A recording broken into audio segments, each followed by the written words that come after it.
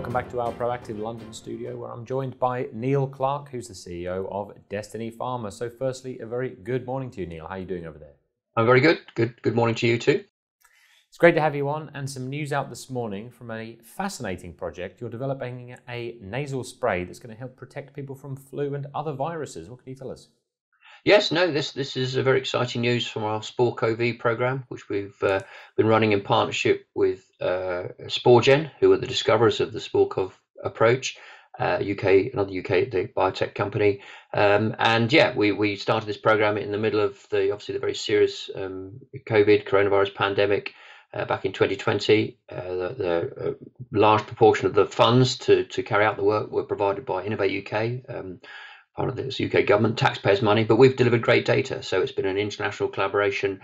Uh, we've had a manufacturing partner who are now actually a regional partner in Vietnam, Huro Biotech, uh, SporeGen, the original sort of inventors, discoverers of the of the approach, and the University of Liverpool, as well as uh, contractors. So uh, a, a, a, sort of a, a wide-reaching uh, research program, which has taken forward the, the simple sort of bacterial nasal spray uh, that SporeGen had initially developed and tested it in coronavirus, influenza, models, uh, producing good data. It's also been in, in Vietnam in uh, early human safety studies to show that it's safe in humans, and um, also been through toxicology to show that it's you know it's not toxic. Again, very very safe. So broadly speaking, the project has really delivered almost I'd say more than we'd hoped for.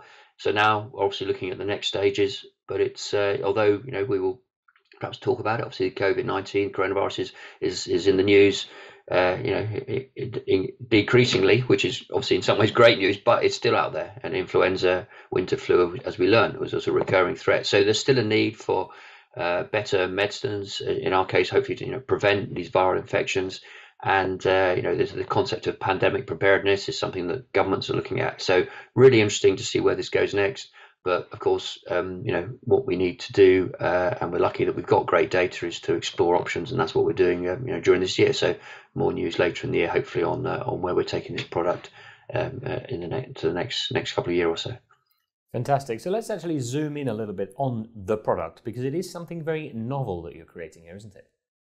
Uh, yes, yes, it's a SporeGen technology, a, formulation of a bacillus, a sort of a, a type of strains of bacteria um, obviously, you know, there's intellectual property, uh, which is protecting the, the, the approach. And um, yes, it's uh, in some ways it's, it's, it's very simple, but it's a it's a nasal spray. The idea is that it stimulates you know, nasal receptors and nasal mucosa, the the innate immune system, which is sort of natural early protection system, but also has the potential, we believe, to sort to, to, to reach into the adaptive immune system, which is sort of you know, down the cascade. So it can be used uh, alongside vaccines to boost their efficacy, because as we learn, you know, vaccines aren't 100% effective, or potentially uh, could be used on its own to give a sort of first line um, protection.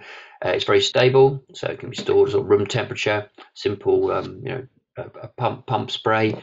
Uh, very safe, but it um, know it's delivered really really good data. So we obviously need to to do more work. Um, it's already been as I said, it's been in some some human studies to show that it's safe, and uh, and uh, it's actually in, in Vietnam. Our Vietnam Vietnam partner is launching a, a sort of an OTC, an over the counter product with sort of related to the SporeCov technology. So data will be collected there from its use uh, under their regulations. But um, yeah, re- really interesting approach and uh, still needed. There is still a need for, for products of this type. Um, the other thing to say is that its cost of goods will be uh, relatively low, so you know it, it, has potential to be used in sort of low middle income countries and be stockpiled and, and not be a huge burden on on healthcare budgets.